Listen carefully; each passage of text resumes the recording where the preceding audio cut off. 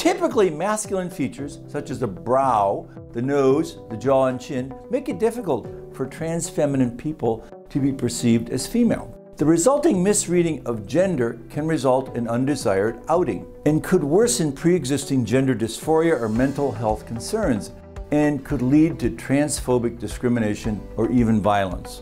For these reasons and more, facial feminization surgery can serve as a critical role in gender affirmation.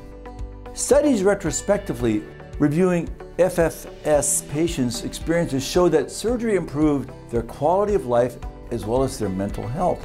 But there's very little data that tracks FFS patients from before the procedure to currently. So these researchers behind this new innovative topic in PRS devised a new prospective study of 66 patients seeking FFS.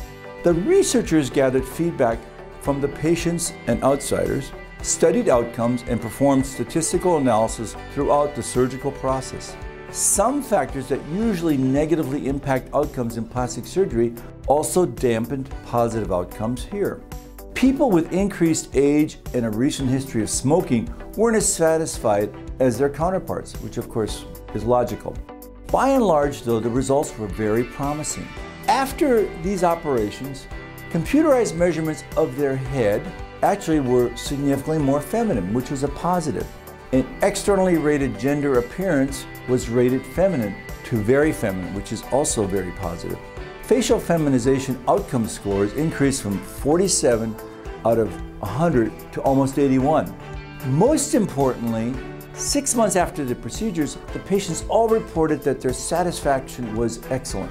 They now saw their previously reported mostly masculine features, such as their brow, their jaw, and chin, in a new light. This new research adds important layers to our understanding of how facial feminization surgery improves the quality of life for trans feminine people across the globe.